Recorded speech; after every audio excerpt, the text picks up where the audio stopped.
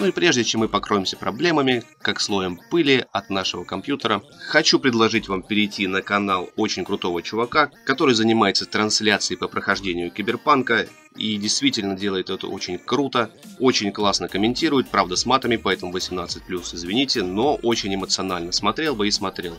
Канал, кстати, тоже называется iKiberpunk. Быстренько переходим, подписываемся, смотрим трансляции, поддерживаем и наслаждаемся. Всем привет! Не так давно у меня возникла проблема с компьютером, которую я решал почти целый месяц. Проблема заключается в том, что компьютер зависает намертво. Происходит это в основном под нагрузкой. То есть, если я запускаю какое-либо весомое приложение, игру, запись видео и так далее. Также может зависать и с полным отсутствием звука. Ну а если даже он и не зависает, то вы просто будете вылетать из игр на рабочий стол и обратно разворачиваться не будет. В том числе после сворачивания вы будете слышать звук, также можете совершать какие-либо действия, но изображение выводиться обратно с рабочего стола не будет. Такая проблема до сих пор у меня была в Counter-Strike. Ну вот, собственно, ребят, это и проблема. Вот, как видите, уже КС свернута. К сожалению, не застал момент, как она свернулась. Нажимаем «Развернуть». Я не знаю, слышно ли вам, но звук есть. Также я могу ходить. Вот, но развернуть не могу. Поэтому сворачиваем, закрываем и заново заходим. Вот такая неприятная проблема. Точнее, одна из вариаций проблемы с зависанием. Кстати, у меня есть дополнительный ролик по решению этой проблемы. И ссылочку на ролик я обязательно оставлю в описании. Посмотрите его тоже, возможно, вы решите эту проблему меньшими трудозатратами с помощью того видео. Вот так, ребят, виснет комп. В общем, завис намертво. Ничего не работает. На клавиатуре, если мы понажимаем на блок, к примеру, как видите, ничего, никакой реакции. Какие же могут быть причины и в том числе следствия данной проблемы? Во-первых, вам необходимо обязательно вспомнить, что вы делали с компьютером в последнюю очередь. То есть устанавливали какое-то программное обеспечение, либо, возможно, совершали апгрейд, потому что при апгрейде такое быть может очень просто. Также, может быть, вы просто совершали чистку компьютера, либо делали еще какие-либо манипуляции внутри системного блока. Отсюда делаем вывод, что причин зависания могут быть в двух направлениях.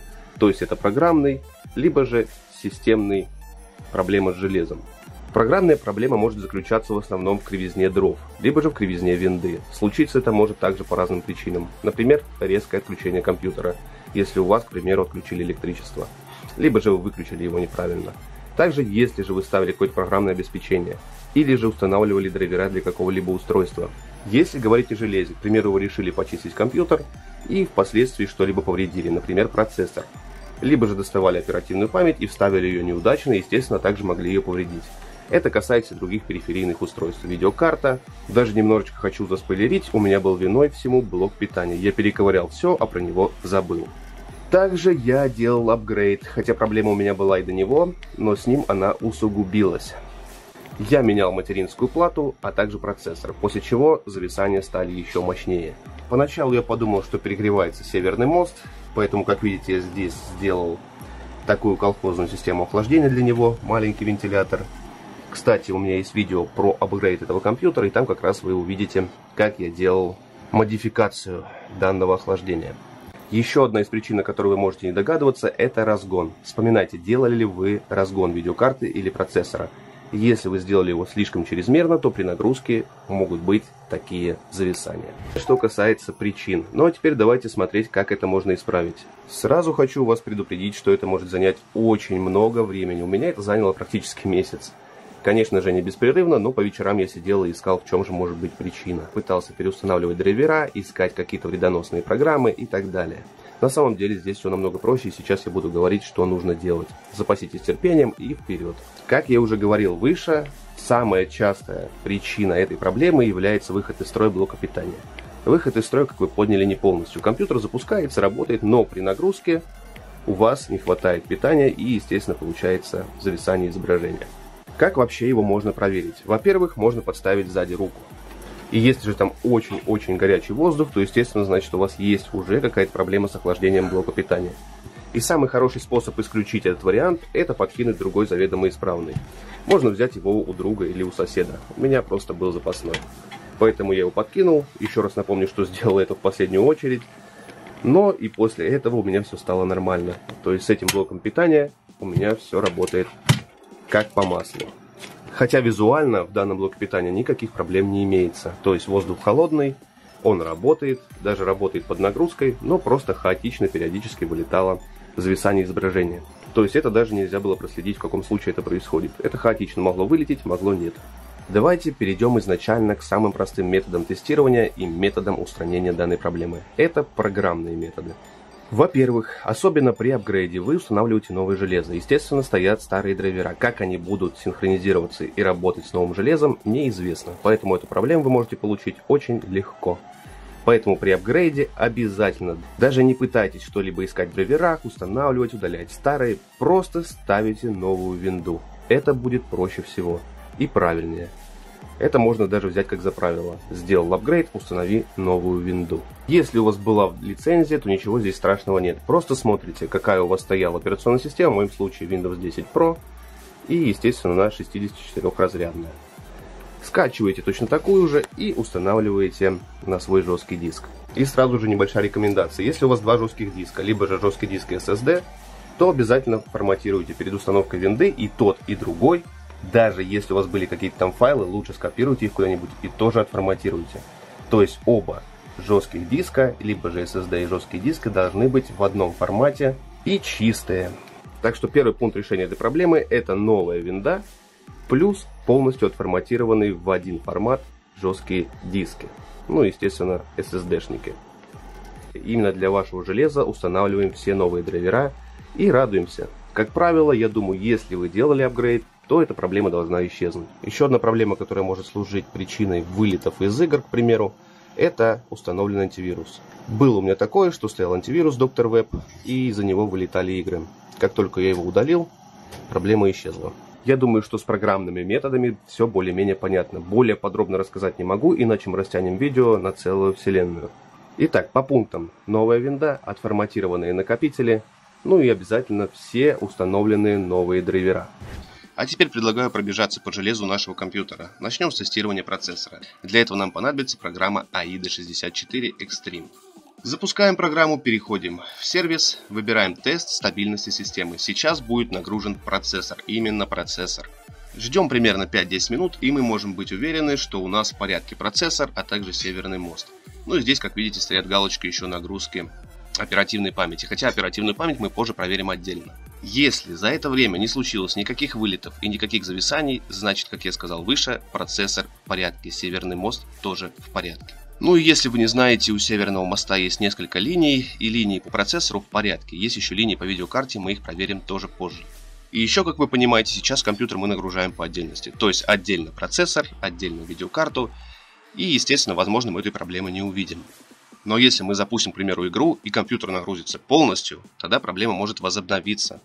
И тогда, как обычно я говорил, идем и смотрим наш блок питания. Следующим действием нагружаем видеоядро, то есть видеокарту. У меня есть для этого программа 3D Mark, а также FurMark. Рекомендую скачать FurMark, потому что он весит мало, а также его можно найти где угодно в интернете. Ставим любое разрешение и нажимаем GPU Stress Test.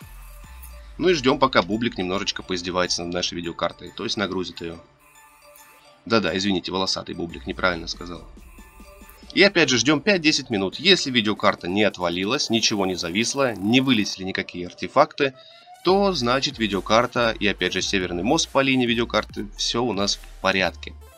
Следующее действие это проверка оперативной памяти. Для этого нам понадобится программа MEMTest 86. Вставляем флешку в наш компьютер, запускаем Image USB, все автоматически записывается, все интуитивно понятно, никаких проблем. Еще раз запускаем Image USB, флешка вставлена, выбираем нашу флешку. Здесь ничего не меняем, все галочки оставляем как есть, нажимаем кнопку Write. После записи флешка у нас будет готова, естественно не забудьте, что она отформатируется, так что данные с нее нужно и скопируйте. И затем переходим в boot меню на вашем компьютере и как при установке винды выбираем загрузку с флешки, а не с жесткого диска. После чего тест запустится автоматически. Также ждете окончания теста, проверяем, не выдаст ли нам каких-либо ошибок по оперативной памяти. И еще одно. Берем любой инструмент. У меня вот есть такая кисточка, я чищу пыль. Можно карандашом, ручкой. И во время теста, или же просто во время работы компьютера, так не сильно стучим по оперативке. Если же произошло зависание, то необходимо убедиться, что у вас с разъемами под оперативную память все в порядке. И контактные площадки контактируют с оперативной памятью, то есть с планкой. Программы необходимо проверить все плашки, которые у вас имеются, и, естественно, все разъемы под оперативку. То есть тестируем по одной плашке в одном разъеме, остальные достаем. Затем каждую плашку, которая была на своем месте, то есть, допустим, первую в первой, вторую вставляем во вторую, первую достаем из первой и заново проводим тест. И так каждую. Если где-то обнаружилась проблема, там ее и ищем. Если вдруг обнаружили, что какая-то из плашек работает неисправно, либо заменить ее, либо просто не вставлять плашку в тот разъем, который неисправен. Говорю, в каждом ролике будет не лишним протереть пластиком контактные площадки всех модулей. Как памяти, так и видеокарты, так и других периферийных устройств, если они у вас имеются. Также для четко чистого измерения я подкидывал другую видеокарту, подкидывал другую плашку оперативной памяти – также ставил вообще отдельно другой жесткий диск.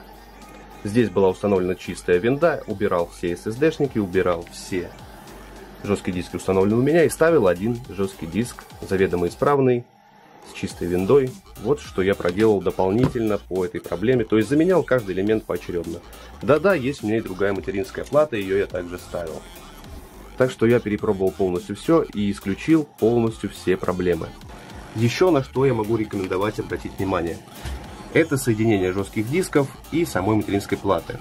Нам необходимо достать каждый SATA проводок, почистить его щеткой со спиртом, потому что могут быть либо окислы здесь, если как-то влага попадала, либо же просто плохой контакт, и это тоже может вызывать зависание изображения.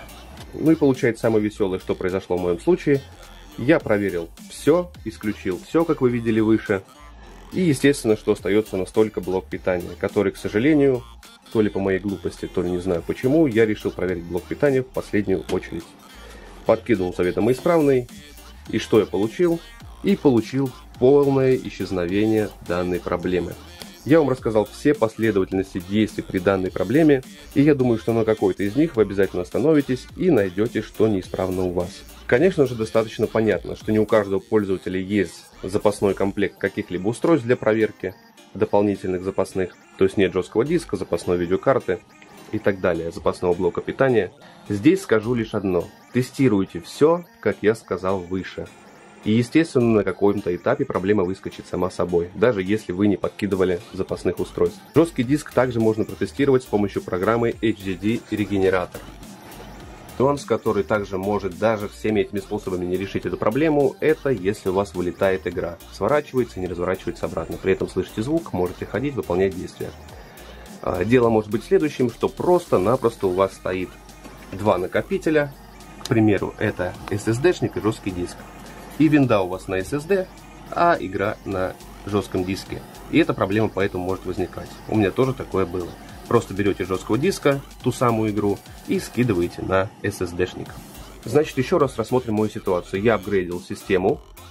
Значит, была установлена новая материнская плата, новый процессор.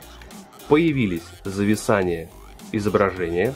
Кстати говоря, когда я разгонял систему, эти зависания учащались. Под разгоном системы подразумеваю разгон процессора по шине. То есть я разгонял не только процессор, но еще и северный мост, еще и оперативную память.